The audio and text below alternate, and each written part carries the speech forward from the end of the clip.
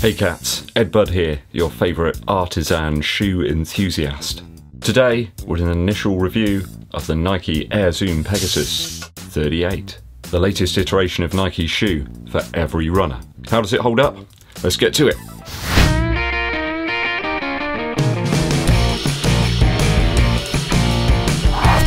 So, a year on from the Pegasus 37, a shoe that didn't quite live up to expectations, we have a big upper update here, sticking with the same forefoot air loaded React midsole and rubber outsole. I have a UK size 11 here, which is a US size 12. I got the old scales out, and this one comes in at 345 grams, which is 12.2 ounces. If we compare that up to the old Hot Rod edition from last year, the 37, this one's only 325 grams, 11.5 ounces. So we've got a bit of a weight increase there, about 20 grams or so.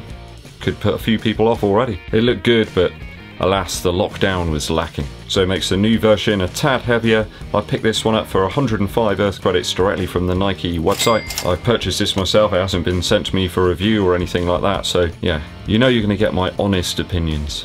I cannot help but give them. I've liked previous models of the Pegasus, so that's why I've picked this one up. A lot of people ask me, why have you bothered reviewing this one, Ed? You know, same midsole, same outsole. Uppers make a shoe, and I think this one could be different. Let's find out. You can really help us out in the shoe alcove here if you give this video a thumbs up like. Really does help to get us out to some more people. Dankeschön. So I've taken this one out on a couple of runs. Initially a 7 mile effort, which is 11.27 kilometers.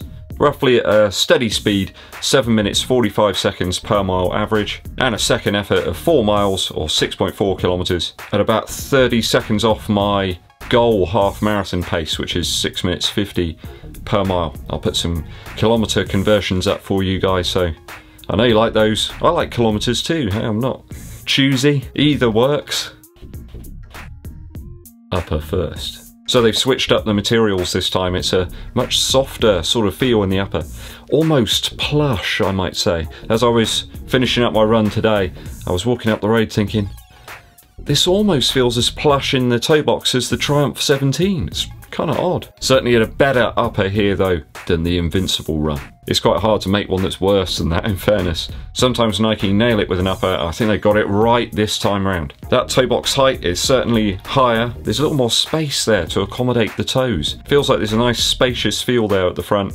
I wouldn't suggest that the toe box is any wider uh, as it says on the Nike website, I, I don't believe that.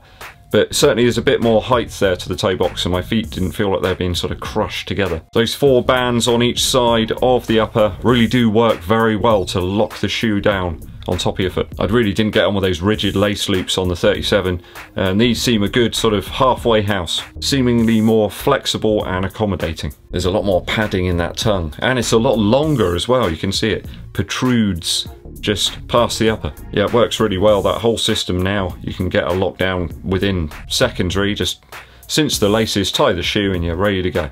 Which is what you want when you're a man who's short on time. One strange oddity though is this weird sort of lace loop thing that they've put in here with the shoe information on. I mean, I've put the laces over the top of it, but they came with it underneath and it just flaps around. It just looks really weird.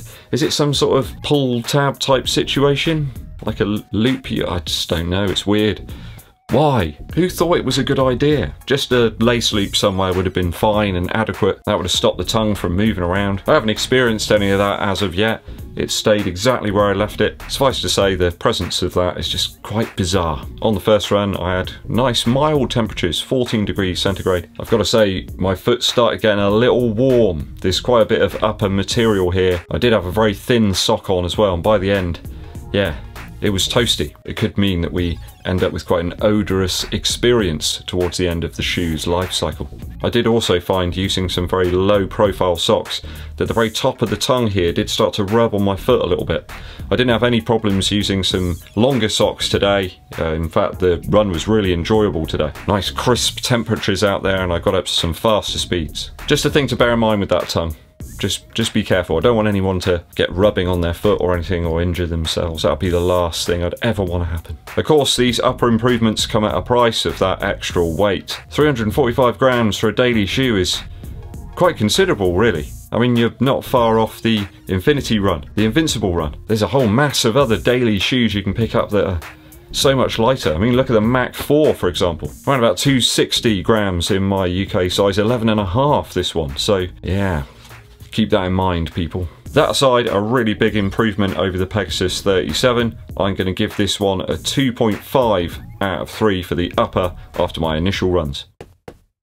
Midsole now. Okay, same React midsole unit as featured on the Pegasus 37. I can actually feel the air unit and the midsole foam a little bit more. Now I've actually managed to lock my foot down on top of the midsole. Can't say I've really felt the air unit at all in the 37. I remember I even tried removing the insole from that one to see if I could feel it, but certainly more prominent here in the 38. I do still find it a little bizarre that they've opted for this very spongy insole within the 38.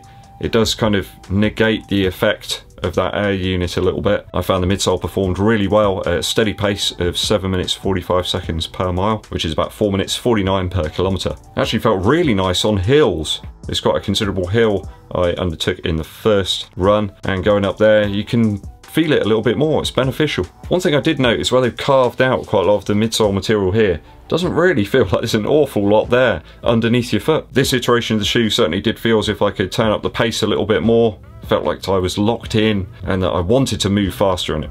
I never felt that in the 37. Does feel a little softer out the box than I remember the 37 being. I even looked back through my old notes about the shoe. Maybe just a touch, but I do still find React a little bit denser than some of the other daily midsole materials that you're finding in some of the recent shoes. It's certainly denser than the Nitro stuff in the Puma offerings, and far less compressive than the Floatride Energy 3 midsole, for example. Did feel good today when I turned the pace up. Midsole started to give back a little more. Maybe it was that air unit in the front. Certainly does feel a little bit different this. Maybe it's production tolerances, I don't know. Maybe it's just the upper working its magic again. Uh, making it feel like I'm a bit more locked into the shoe. More all-round experience. I'm to give it a 2.5 out of 3 for midsole after my initial runs. Outsole now. Outsole wise, we have the same dependable patterns that we found on the 37. It's a real mixed bag actually. You've got quite bitey protrusions, sharp and they're quite hard in fact. I did find it quite a loud outsole today when I turned up the pace. It really does create quite a noise. I really do feel it's one of the best bits of the 37 and certainly one of the best bits of the 38. A really versatile outsole here. I took it on some mud, some grass, felt really, really good. Traction was on point. I think you could use it for some light trails even. It's pretty much down to that waffle-like pattern. Though I would suggest if you're going to take it on trails, be a little bit careful because you've got this very hollowed out section at the back here, which you do fall into a little bit if you are certainly using your heel a little more. Not to say the shoe's unstable, it's actually a very stable ride in the 38. I don't think you're going to have to worry about durability here on the outsole of the Pegasus 38. As proved from the last version, this stuff really does hold up well. I think it, when it comes to daily shoe offerings, you want something that's going to provide the durability, and I think that does it in spades. All the chief stuff required on a running shoe there. I'm going to give it a 2.6 out of 3 for the outsole after my initial runs. Just let down a little bit by the noise, quite frankly, it's loud.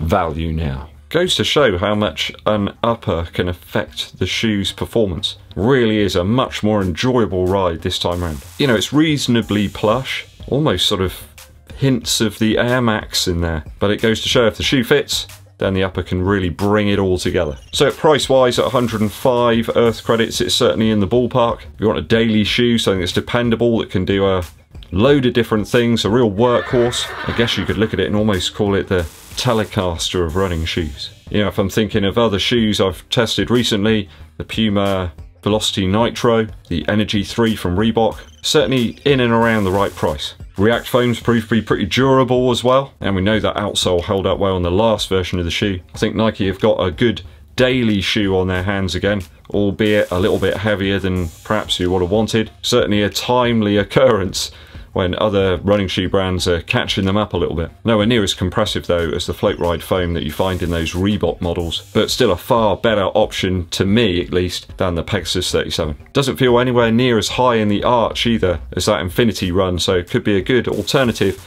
if you're looking for a Nike shoe. As such, I'm going to give it a slightly higher value score than I did the 37, a 2.4 out of 3 after my initial runs for value. So if I've added the scores up correctly, that gives us 10 out of 12 for the Nike Air Zoom Pegasus 38 after my initial runs.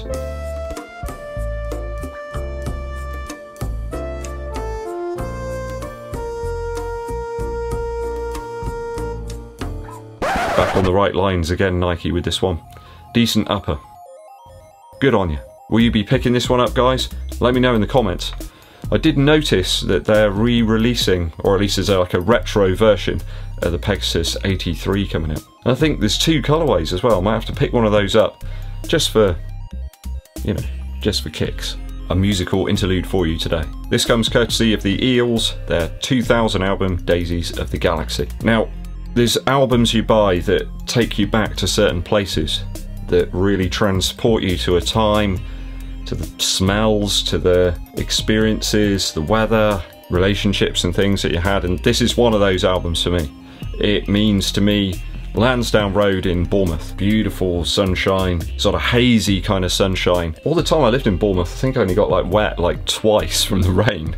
It really was a lovely place to live. Every track here is great. I will warn you there is one track that does have some explicit language, so do be careful, guys. I love track two, which is called Packing Blankets, which is obviously all about somebody moving house, putting away all their things, kind of dusting the floor. Yeah, around about that time I moved around a little bit, and it reminds me of those sorts of feelings.